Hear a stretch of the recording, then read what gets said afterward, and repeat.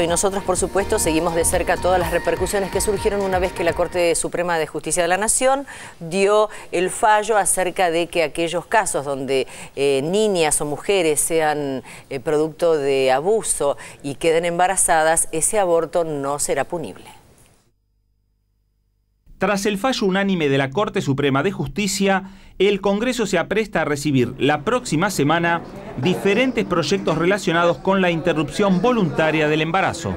Primero tenemos que escuchar a la sociedad, tenemos que escuchar a los diferentes grupos que trabajan en torno también a la protección de la vida, así como se ha escuchado a los que están a favor del aborto eh, libre, gratuito y seguro. Eh, y bueno, avanzar en estos ámbitos, este, previas consultas, en una discusión seria, eh, sincera, sin dogmatismos y tratando de atacar las verdaderas causas eh, de la cantidad de, muertes de, niñas, de jóvenes eh, pobres por el aborto clandestino. Eh, tengo entendido que esta es una cuestión en la que se deja libertad de conciencia a cada uno de los diputados. de todas maneras, yo tengo una opinión formada en este tema y, creo que es necesario debatir y escucharnos los unos a los otros este, y bueno, tratar de sumar voluntades para proteger fundamentalmente la vida, no solo la vida de las mujeres, de las niñas, de las jóvenes, sino también de los niños por nacer. Así que yo creo que este fallo, que es ejemplificador, que es este, magistral, tiene que eh, abrir nuevamente este, o facilitar el debate de, la interrupción del embarazo, de la despenalización del aborto.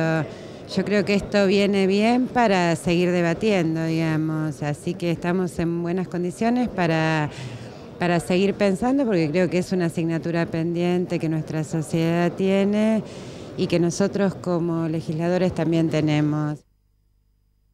Recién a Fernando Fraquelli en el informe, lo tenemos aquí en el piso, en el estudio. ¿Qué tal? ¿Cómo está, Fernando? El tema del aborto no punible llega la semana que viene a diputados. Exactamente, van a partir de lo que fue el fallo de la Corte Suprema, los legisladores van a estar ya trabajando y las legisladoras van a estar trabajando ya en, diferentes proyectos que los van a presentar la semana próxima en el, en el propio, eh, en la propia Cámara de Diputados. Hablamos de diputados, hablemos de senadores para la semana que viene. Eh, va a ser la actividad central del Congreso, va a pasar por por el Senado, porque, porque va a estar presente Mercedes Marcó del POM, porque se va a hablar sobre la reforma a la Carta Orgánica del Banco Central, después de lo que eh, fue la sanción, el debate que se dio en la Cámara de Diputados esta semana, la próxima semana rápidamente ya comienza a ser tratado en las comisiones respectivas, va a ser el martes en horas del mediodía y posteriormente el miércoles o el jueves el proyecto va a llegar al eh, recinto de la Cámara de Senadores como, eh, Pedro, como uno de los temas centrales a discutir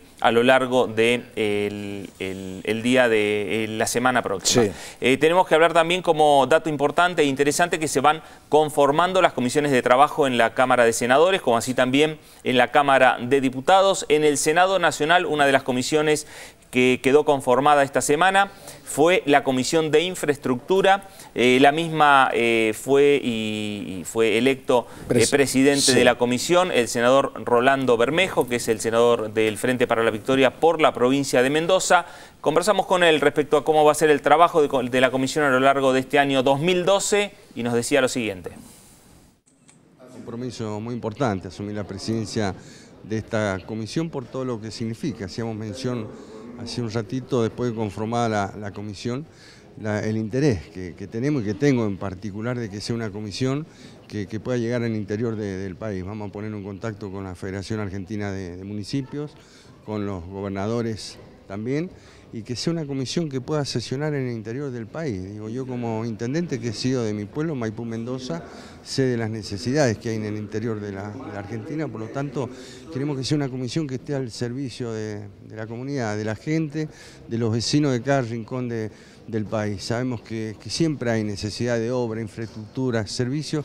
Esta comisión tiene que ser una buena herramienta para que podamos crecer en forma armónica en toda la nación usted destacó que quiere que esto sea un, lugar en el cual se puedan concentrar los intendentes y los gobernadores. Sí, sí, totalmente de acuerdo, por eso le vuelvo a repetir, estamos ya contactándonos con la Federación Argentina de Municipios porque queremos que sea una comisión que, se mueva por el interior del país, que pueda convocar a los intendentes, a los gobernadores, a los ministros que tengan relación con esta comisión de manera tal que podamos ser nexo también, ¿no es cierto?, para coordinar gestiones con los funcionarios del Ejecutivo Nacional.